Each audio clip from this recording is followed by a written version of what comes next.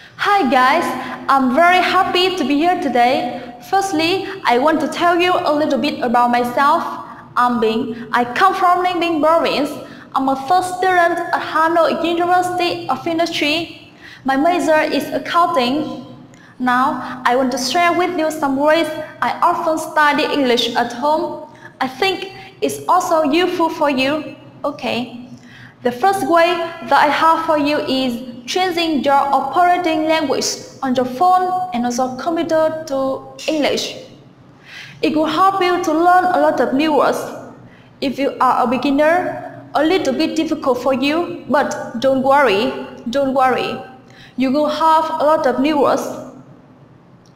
The second way that I have for you is read news and watch TV in English. Trust me, it will help you for your listening skills. Okay. The third way that I have for you is to listen to music English. Well, I really love music, especially the song in English.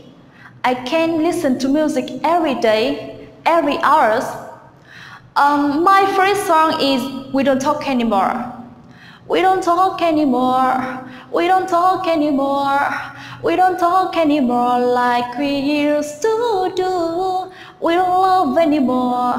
What was all love before?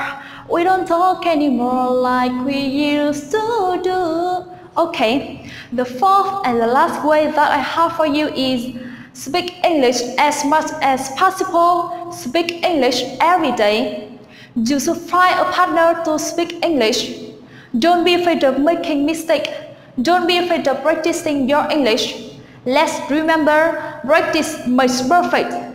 If you want to learn and practice English with me, you can join in our club. Goodbye and I will come back.